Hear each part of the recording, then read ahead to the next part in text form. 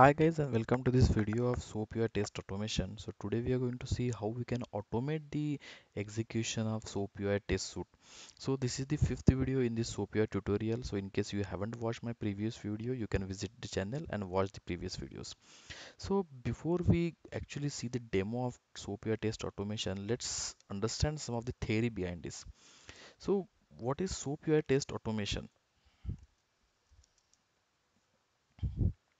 So it is nothing but a process which reduces the manual steps in test suite execution.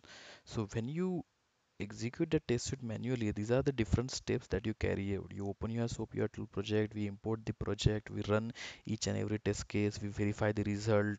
Uh, in case of error, we note down the errors, we create the reports out of it.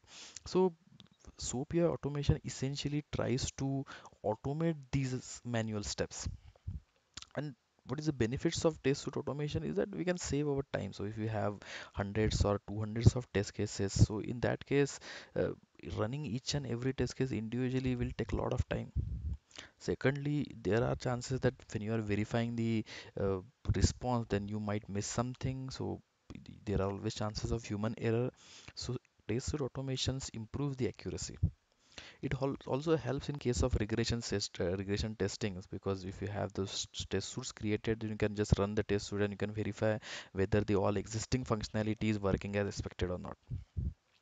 So now how we can do the test case test suite automation? So that we can do using the test runner utility.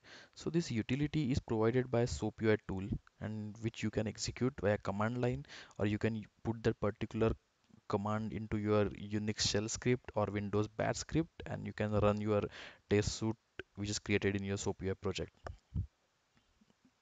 So how the test runner knows which test case to run, which is the SOAP project, etc. So when we run this particular utility, we need to provide few of the arguments to that.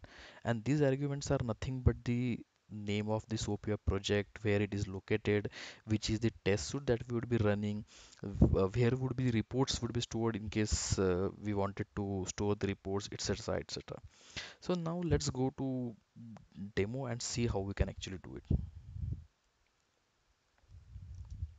So this is the SOAP project uh, which I have already opened and I have created this test suite and this SOAP project is created for calculator operation and I have created four different uh, uh, test uh, test cases for addition, submultipliers, division and subtraction. So if I open this addition test case then you can see that I have put few of the assertions here which will verify that the result I am getting is 744 or not. So in case of uh, actual work you could have different of assertions here to verify whether the response matches your expectations. So if you are not familiar with assertions I would request you to go to the uh, SOAP UI assertions video in my channel. So similar assertions I have put on the other test cases as well. So when we want to run all this but all the this test cases or other when I want to run whole this whole test suite so in this I'll right click here and click on this launch test runner tab. So when you launch this window you will see different operations. For example what is the test suite that you need to run here? So in this case as we only have one test suite so that's why uh, we are getting either all or that particular test suite name. So in case of test case also you have that choice whether you can run all the test cases or you can run a particular uh, uh, test case. So this is the test runner path. So by default SOAP picks up the test runner path so you don't need to provide it and then then you can also override the endpoint here.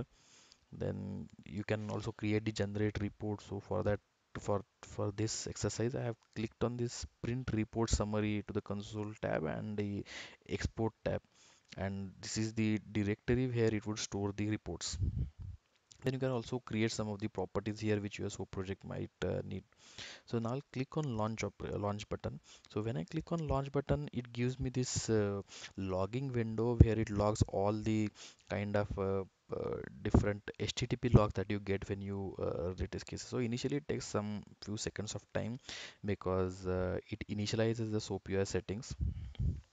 But once it but those settings are initialized then test case execution doesn't take uh, much of the time so as you can see it it prints out a particular command that that uh, this particular utility runs. So I'll copy this file as well. But before that let's see the results. So so as you can see that execution has finished successfully and it it has printed out the summary that we have run total test for uh, four test cases and out of that zero is failed. Total number of test steps are four. Total number of assertion that it has verified are six and total exported results are also four. So looking at this summary you can see how many test cases have been failed or how many are passed.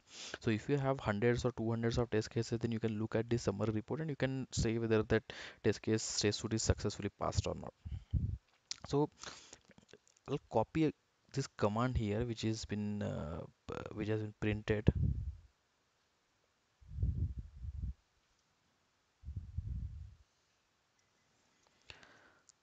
So I copied it here. I'll paste it into notepad so that you can see it in detail.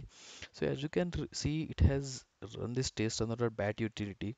It has provided this test suit name using this minus a minus s uh, attribute. Similarly it using this uh, a it is gonna print it to the uh, console and using minus r it is gonna uh, rather let's let's look at the different arguments that we can pass. So this is the uh, SOAP official documentation and here you can see all the different kinds of parameters that you pass to a particular command. So as we are seeing a turns out the exporting of all results and r does printing of uh, small summary report. And this this minus f it it uh, tells you the uh, directory where you can uh, put the reports and this is the SOAPUI projects. So as so let's see the folder where it has put up the uh, reports. So I think it was on desktop. So as you can see it has created this uh, reports for every for example for this positivity request it has created this uh, file which contains everything. It contains the raw request that has been sent similarly response that was received what is the what is the http status what is the time at which it was received what is the content type. So this will so these logs contain everything about the request that you have fired and the response that you have get. So looking at this particular uh, data you can very easily find out which is the particular thing that we need to uh, look at. So uh, as you can see here so as you can see here uh, this is some old file which I'll be deleting it. So I was just doing some uh, kind of a test before recording this video. So I'll uh, delete this. So as you can see for all the test cases it has given this status as okay. So now what I'll do so first of all let's try to run the same thing from command line. So just copy this particular thing. And what you have to do is that you need to go to that place where SOAPUI is installed. So most of the time it will install in C program files in SmartBear in SOAPUI 5.5.0 under bin. So you can see under bin you have this test runner windows batch file. So this particular batch file you can use to execute that same command which we had seen via SOAPUI tool. So if you have installed SOAPUI on Linux then you will have a shell script to uh, for the same purpose so I've opened the command prompt and I have pasted the same command which was run via SOAPUI tool and I am hitting enter. So now it is performing the same task that it was performing while uh, it was uh, uh, running this file.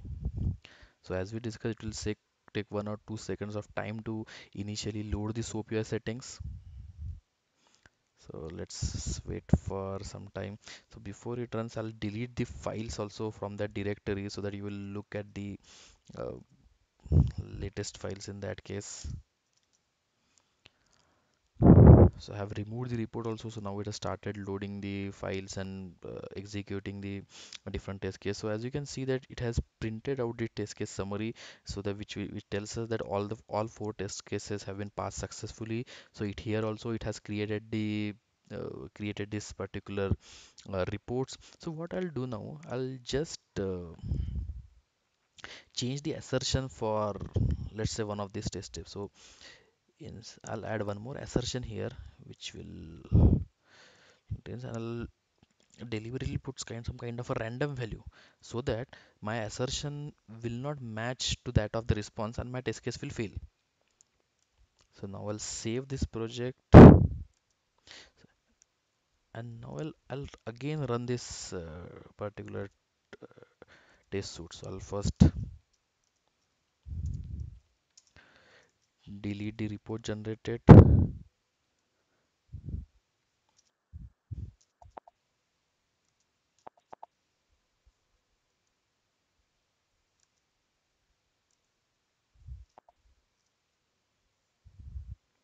so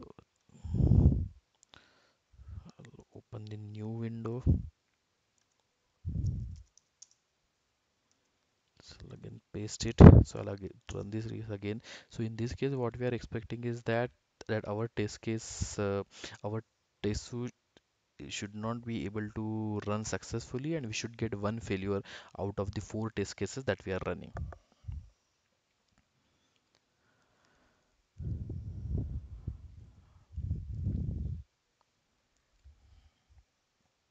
but so as we have seen that it just takes time to initially load the settings but once uh, the settings are uh, uh, settings are loaded in that case uh, it does not take much time to actually run the test cases. So when you have 100 or 200 test cases so it won't take time to run those 100 test cases but it will take only time to load the SOAPUI settings. So as you can see in this case we have got the failure here.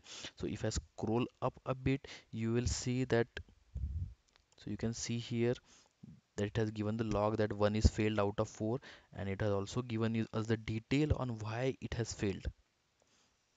So here you can see that particular assertion is not matching here. So uh, you can see here that the eh, the response whatever the response is there it has printed that response. And I'll go to the reports which will give us the details as well so I have opened this also you can see that this particular for this particular subtraction report it has appended failed in front of it. So if when I open it it will show me why it why uh, that particular so you can see here that contains. So this assertion is failed here this is not matching in the response that we have received. So looking at this particular file you can very easily uh, try to find out why that particular test case has failed. And if you have hundreds of test cases here you can use some kind of a scripting to determine if that particular file name contains okay okay status or failed status. So you can run a particular script and you can you can create your own report which will tell you uh, which are the test cases that are passed and which are the test cases that have failed so uh, one more thing I want to highlight here that you might face this error when you run the test runner utility which which says that global groovy.log is not uh, is is not found and access is denied. Or you can also get this particular error which, which will tell you that auto discovery method factory uh, is not found or something class not found exception. So in case you get this kind of error i'll i'll request you to watch my video on how to resolve these errors. So i have already pasted the link in the description section. So guys i hope this video have given you the insights on how we can run the uh, how we can automate this test uh, soap UI test suite and it will definitely help you to excel in your project. Thank you guys for watching and please subscribe to my channel for getting regular updates about the uh, latest video that i upload